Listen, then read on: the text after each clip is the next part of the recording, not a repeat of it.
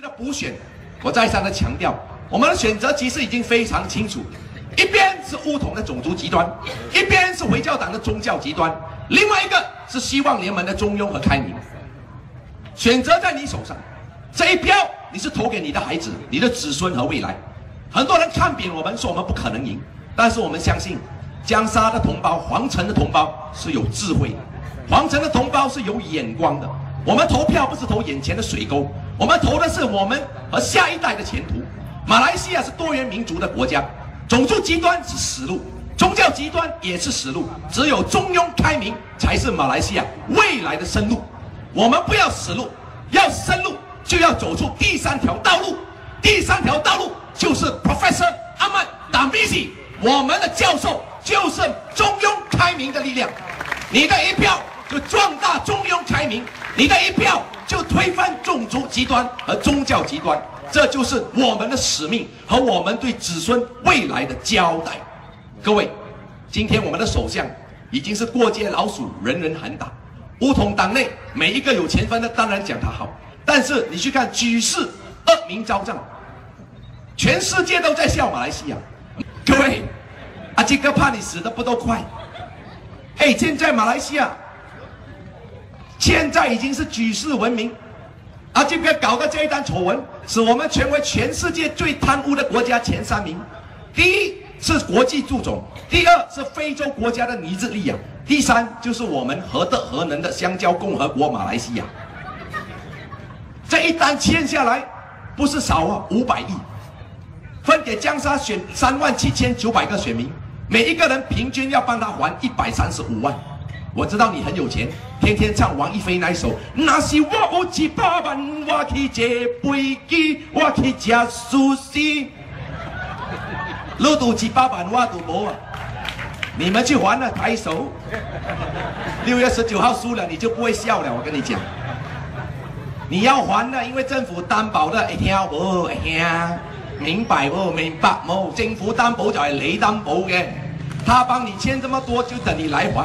还不要紧，现在国债给他签到八千亿，哇，八千亿多少钱？五百亿都不没有看过了，还讲到八千亿，八千亿很简单，每一个月利息二十二亿，每一天利息七千三百万，做一条马弄大桥四千三百万，阿基哥的四十二亿可以建一百条马弄大桥，从江沙建到印尼的苏马德拉，还可以 U turn 回来。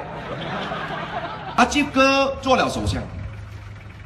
有一句话说：“言而无信，真小人。”安华最喜欢讲的“小人，小人”。今天阿基哥就是小人啊，没有骗你的，讲话言而无信，毫无诚信。阿基哥上台答应我们很多东西，第一，他答应我们什么？二零一二年上电视台 RDM 现场转播，Rehat Tunggu Mati RDM。边宣布什么？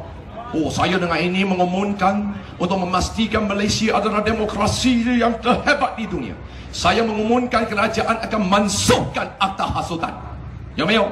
他宣布要废除煽动法令，最后煽动法令没有废除，变成煽动法令，专门来抓尼可敏啊、林冠英啊、林吉祥啊，哦，这个拉菲西啊，有没有？这个是第一条空头支票。第二，啊，这个。竞选宣扬宣布什么？如果国政做政府，大道经费不再起价，而且每年会慢慢调降。可是不到一年，去年大家记得吗？马来西亚二十八条大道起价不是十八仙，不是二十八仙，是起五十八仙到两百八仙。又第二张空头支票，讲话好像吃大便一样，不用本钱的，而且假赛啊，或给人讲，堂堂一国之君。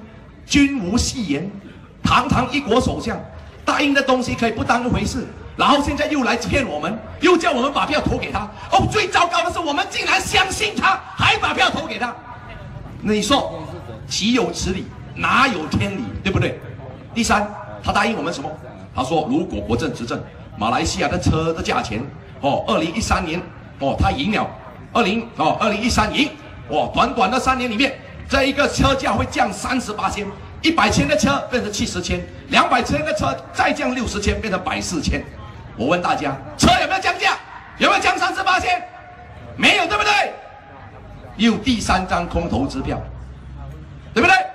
连连三张空头支票，现在第四张。上个月沙州选举，还记得吗？哇，他说如果只要华人票回流，好像江沙这样的。现在你们只要华人票回流，我就给你这个 A，这个 B，这个 C，对不对？哇，当时沙捞越也是一样啊，宣布哇，只要华人票回流，我们就委任华人做沙捞越首席副第二，啊，副首席部长。哇，当时很多华人心动了，哦，左右为难，不知道要投给谁。心大心小，心小心大，不懂不懂不懂不懂，最后一般的华人给他骗掉。行动党原本有十二席，输掉六席，剩下七，哦，输掉输掉了五席，剩下七席。哇，大家满心期待，沙拉越国政宣布内阁的时候，会有华人副首长宣誓就任，朝中有人好办事，活死了，不活死不？最后证明老千出界，老千出城。奔着上钩，沙捞越的华人又给他骗掉了。这句成就叫做成语所说的“过桥抽板”。国政再三过桥抽板，再三忘恩负义，可是还有很多睡不醒的人还相信他，继续让他继续过桥抽板。而现在来的最大条的桥，就是江沙的马弄桥，又来了。你再信他，我们已经信他很久了。三十多年，我跟你讲，你每次投给他，他反而不会见。你就是这一次敢敢来，可以四几拜，可以多几拜，被佢冧一摆，佢就会醒了，他就会怕。因为为什么？江沙如果输掉，坐镇在全马来西亚两百二十二个国一系，不会再有任何一个安全区，因为江沙是他最后的堡垒。因为江沙跟其他国政赢的四十三个选区一样，多数票没有超过五点。五八千，所以如果江沙会输，也就是说国政现在赢了一百三十四个国会，会输掉四十三席，到时候他只剩下九十五席，我们到时候就真正的落实了改朝换代，告别腐败，我们期待为了下一代莫再等待，好不好？所以为什么江沙普选这么重要？为什么我每个晚上来？喉咙讲破了，皮裤讲湿了，还天天晚上来，为什么？就是因为我们知道江沙补选是开创马来西亚政治的未来，江沙补选将开创政治新格局，所以记得六一八到那进江沙创奇迹，好不好？你可以相信吗？首相官邸每一年水费两百多万，两百多万，我算应该够六千个人用。可能每一天阿基哥请三千个人去他家里冲凉，他的电费一年用一千一百万，每一个月电费整百万，怎么样用？都是用你爸爸的钱，你相信吗？一个月电费可以用一百万，我可以在江沙开史无前例最大间的工厂，一百英亩的工厂，可能用电也不过用一百万一个月。